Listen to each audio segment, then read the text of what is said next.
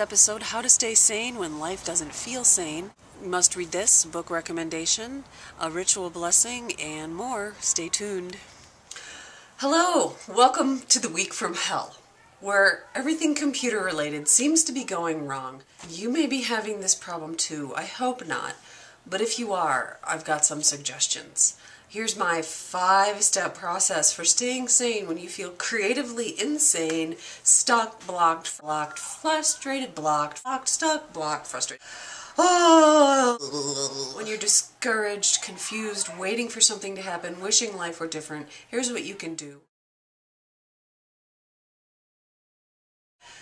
Number one, remember that life is not a constant charge of greatness, and all of the advice dictates that tell you that you should be constantly on, constantly firing, constantly making things happen, and constantly being your best self, it's wrong. There are days when you just stink. And when life just stings and your computer just stings, going to be some days that you're just not feeling great. So be compassionate with yourself. Be gentle. Remember that it's okay to not be on all the time. Number two, give yourself permission to step away from doing. Slow down, rest, relax. I recently took an hour nap and woke up in a puddle of drool, telling me that I had really relaxed. I invite you to do the same. What's your version of the drool nap?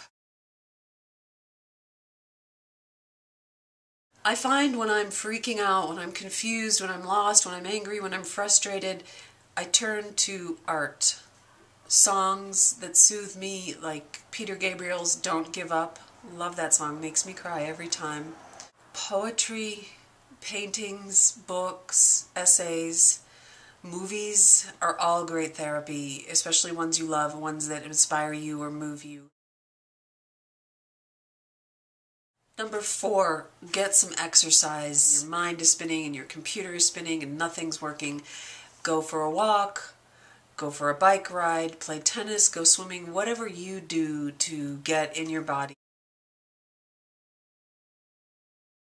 Number five, remember your original impulse. What is your guiding principle? What keeps you going? My original impulse is to be fully human and to live a zesty life. So, fully human means not being perfect every day and means taking a nap and letting myself be soft and tender on some days and not so active and on top of it.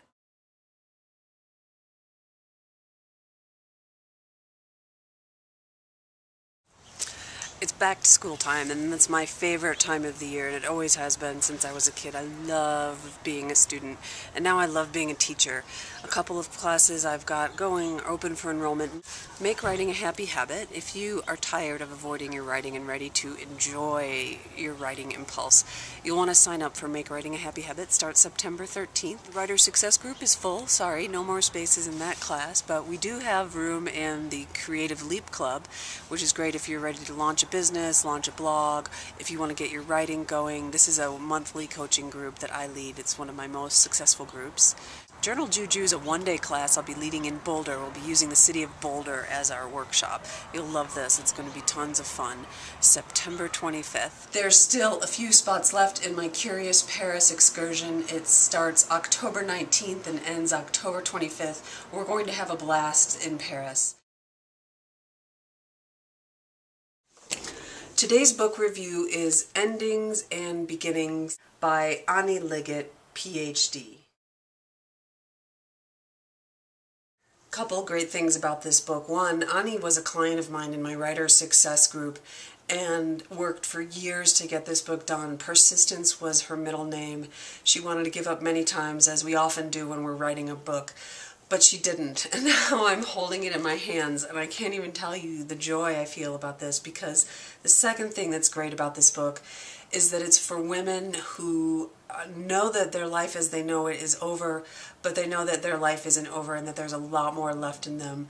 So leaving home, whether it's leaving a relationship, leaving a job, moving on, doing something new, finding a new way that springs from your authenticity, this book is a map.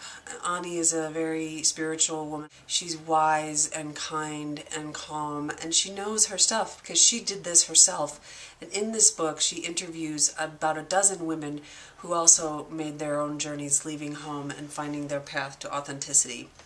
Endings, Beginnings by Ani Liggett.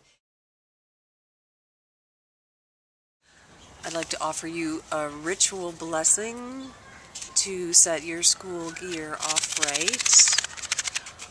I created these for you. Writing taps the mystery. Writing taps the mystery. It's kind of mysterious. What does it mean? I'm bringing back the journal Juju giveaway because I love giving gifts on this show. This is this week's journal that I'm giving away. I bought it in Paris. It says on the front, Je vais dans tous les sens, ma vertu est constante. In all the senses, my virtue is constant. I don't know that I believe that, but I do like what it says on the back. It says, Écrire le monde, savourer la vie. Write the world, savor life. So, Here's the deal. You leave a comment below and I will choose at random from the comments and send the winner this cute little journal. That's it. Part of fall for me is planning upcoming events and things and I'm working on developing new ideas for my show, Juju Infusion. What would you like to see on Juju Infusion? Leave a comment below and let me know. Thanks for watching and thanks for commenting.